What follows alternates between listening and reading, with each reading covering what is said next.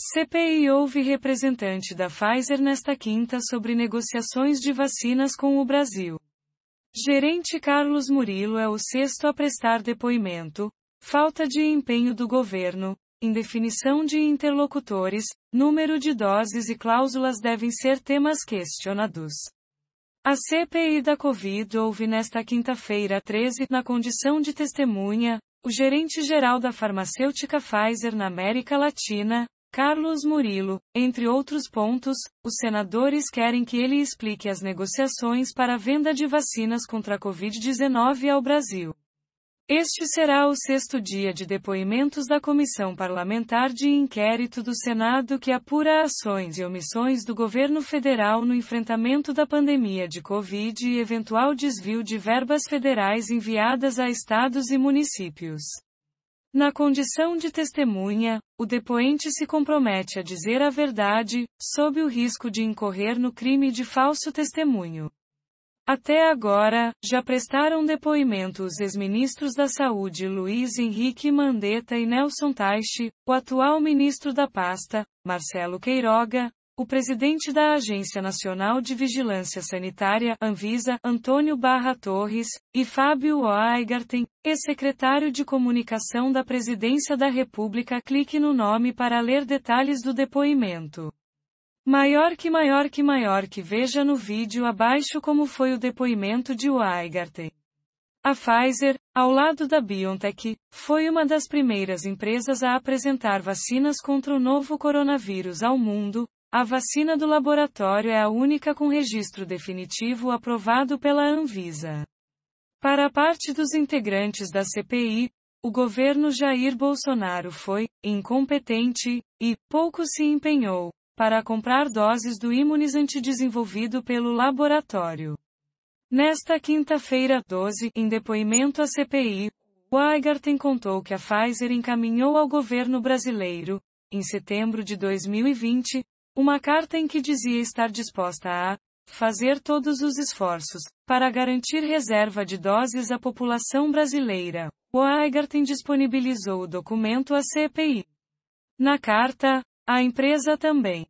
O documento, assinado pelo diretor executivo da Pfizer Albert Burlan, foi endereçado ao presidente Jair Bolsonaro, com cópia para o vice-presidente Hamilton Mourão, e para os ministros Braga Neto, à época na Casa Civil, Eduardo Pazuello, à época no Ministério da Saúde, Paulo Guedes, Economia, além do embaixador brasileiro no ZEUA Nestor Forster.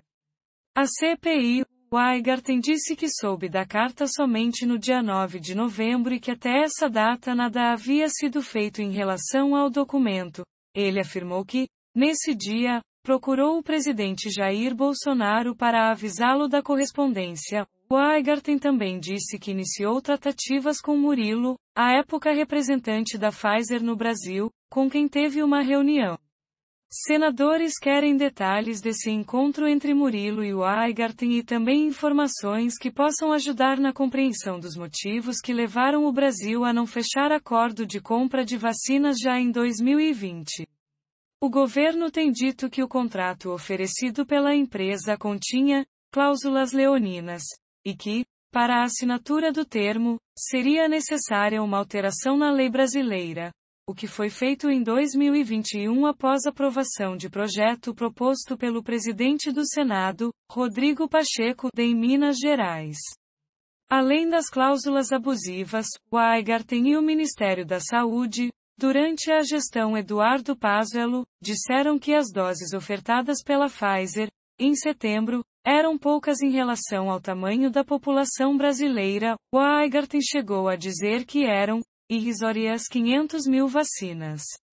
O número de doses oferecidas será alvo de questionamentos por parte dos senadores, uma vez que há relatos de uma oferta de 70 milhões de imunizantes, o que seria suficiente para imunizar 35 milhões de brasileiros, já que são necessárias duas aplicações do imunizante para cada pessoa.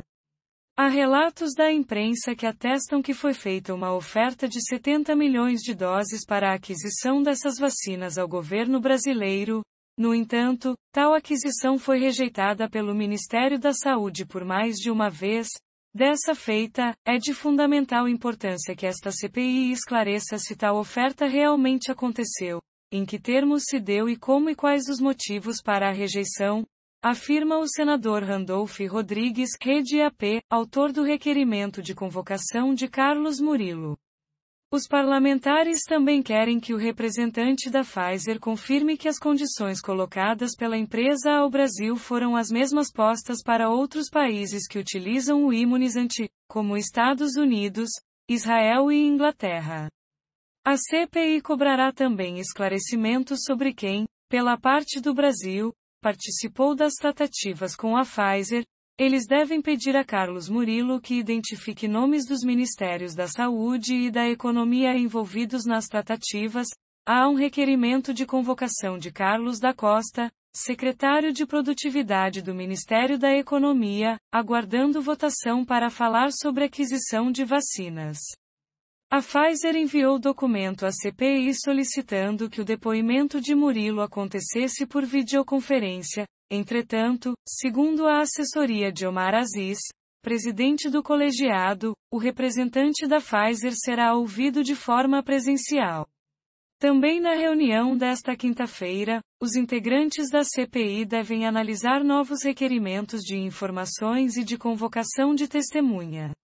Estão na pauta da comissão alguns pedidos, entre os quais não estão pautados, mas podem ser analisados pedidos de quebra de sigilos de Fábio Weigarten e de assessores do Planalto que seriam integrantes do chamado Gabinete do Ódio, e de reconvocação do ministro da Saúde, Marcelo Queiroga.